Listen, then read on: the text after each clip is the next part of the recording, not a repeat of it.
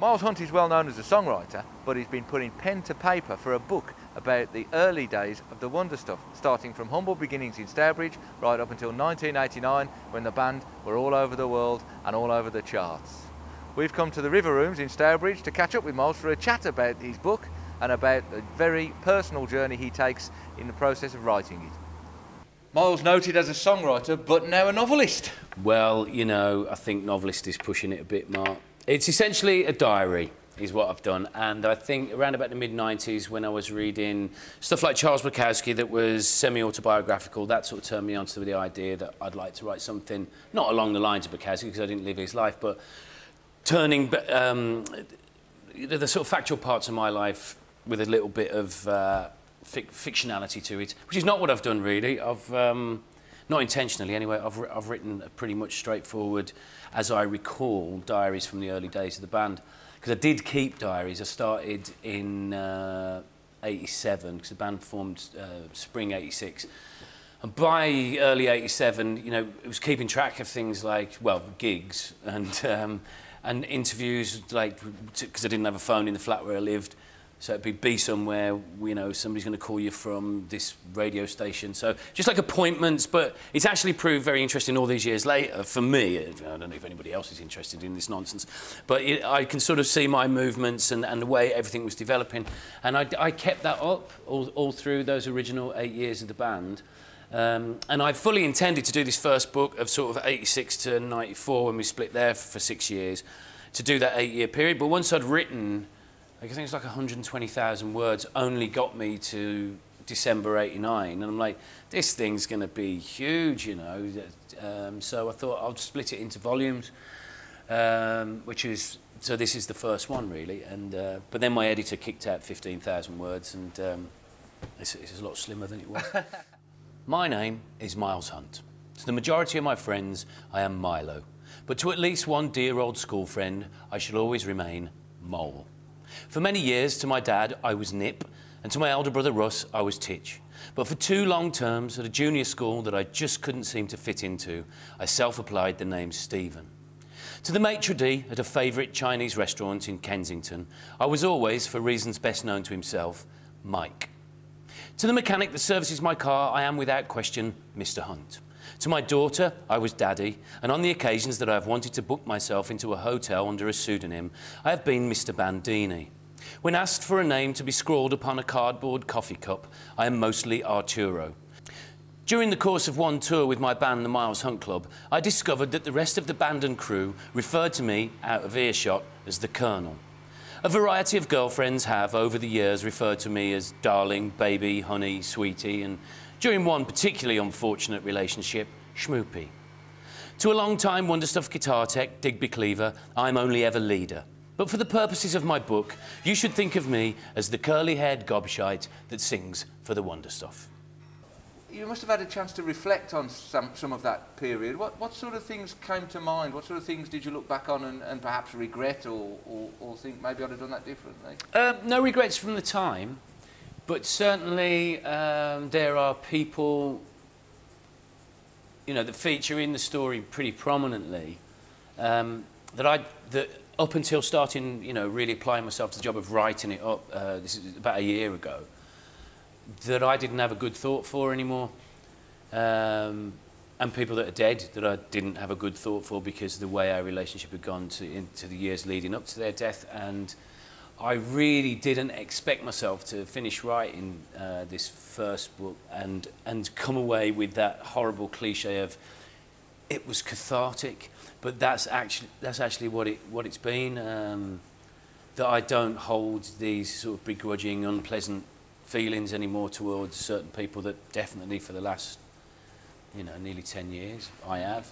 So those things have gone, um, just simply from reading the diaries because I, I start, it's not just members of the band, you know, it's a lot of associated people around the band that, that were there all the time. Uh, that none of this could have been done without every single player being involved and how much we all had each other's backs when we were kids, you know, we were really, really loyal to each other. Mm -hmm. uh, that changed. Mm -hmm. uh, but in this first, first four years of the band, I was amazed um, at how highly I speak of everybody else in the diaries. Mm-hmm. I know you, t- you talk in the book a lot, especially uh, about um, Bob the bass thing, Bob mm-hmm. Jones, of course, uh, and, and and, and, and I think he was somebody who, would you say, he was somebody who, who, if you like, kept you in a, in a particular place and perhaps on the rails a little bit more?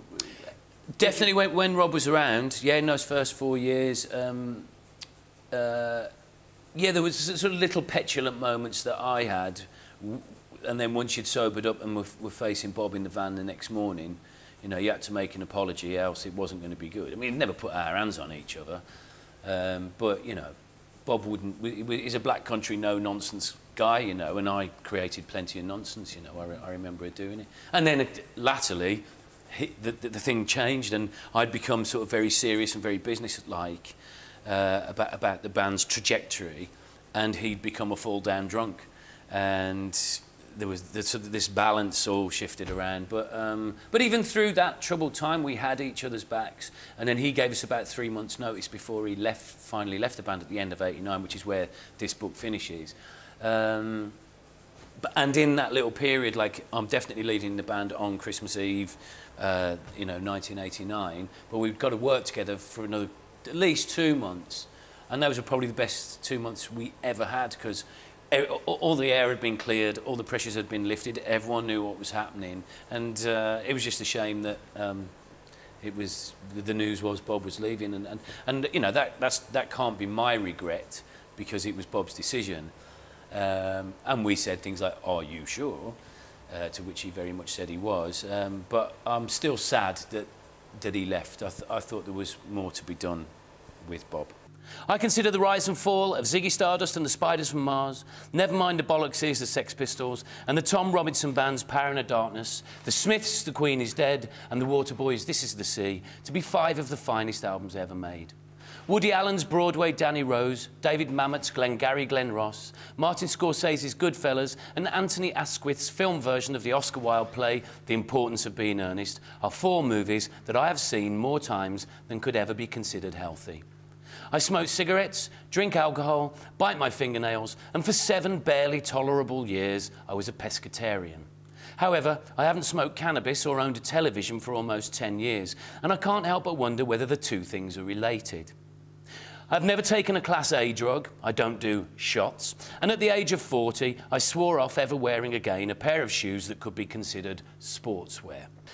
I, I couldn't be honest about certain aspects of my life without being completely honest about others, you know. So I've been very honest that I wasn't exactly the, you know, the, the most loyal of boyfriends uh, to my to my steady girlfriend at the time, you know. And I've, I've had to be honest about that. Um, uh, and I'm still friends with the girlfriend in question and gave her the manuscript to, to say, look, if you don't want this in there, then I'll either change your name or I'll take it out. And she said, yeah, go ahead.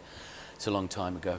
Um, but I, I, couldn't choose what I was going to be honest about. And also, I'm sort of quite, in the diaries at the time, I'm quite, uh, you know, I'm accusatory of other people's failings uh, what was letting the band down at the time. And now, years later, with the experiences that I've had, I can now see my failings and that I wasn't quite as right as I thought I was. So I've, yeah, I've tried to be as honest as I can. And, and the other thing was, you know, it is a biography, an autobiography. And so I've sort of had to, to I wanted to explain who I am, uh, that ended, this kid that ended up in the Wonder Stuff. So there are stories, sort of, you know, childhood stories, uh, things that my parents have told me, things that I remember, uh, things to do with my brother. Getting into music as kids because it was you know glam rock was everything to us. Uh, there's stuff about Slade and and then punk rock and new wave. But but what I didn't do is is write it in a chronological order. I you know I just thought anybody that wants to sit down and read a book about the wonder stuff doesn't really care that my dad was a trade unionist in 1970. So, and I felt, because I had to do a lot of research into rock biographies,